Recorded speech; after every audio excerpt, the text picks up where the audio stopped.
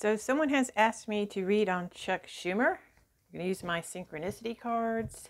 I'll put a link to the name of these cards in the description if anybody's curious.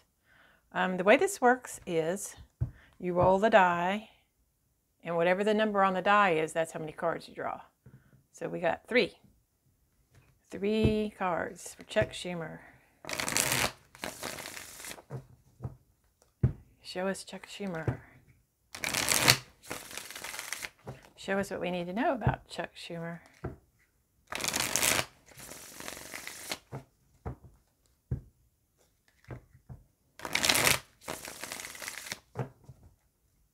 Chuck Schumer.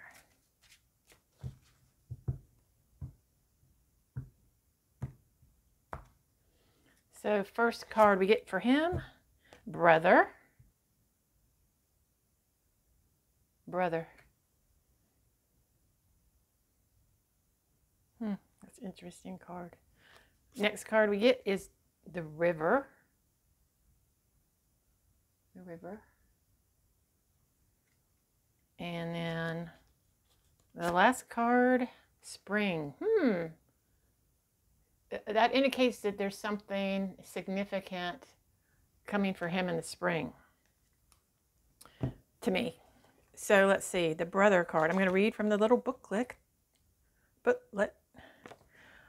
A kindred spirit holds your hand and helps you fly. Well, I mean, he was always coming out with Nancy Pelosi.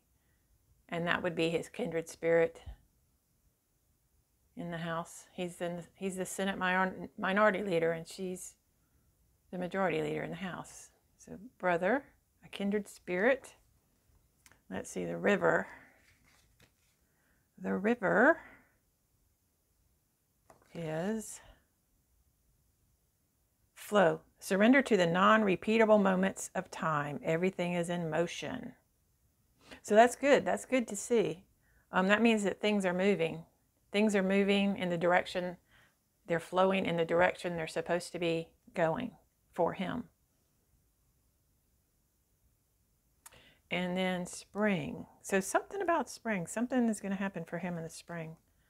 Let's see. New beginnings. Youth and hope. So So some, something is he's on he's on the right path. Things are flowing in his direction, and there's something something new coming up for him in the spring. It might be some new hmm I don't know. Uh, it could be some new committee he's on, or it could even be uh, some kind of new something he's tasked with by the Biden administration. So we'll see. We'll see. So that's what I get for Chuck Schumer. Thanks, guys.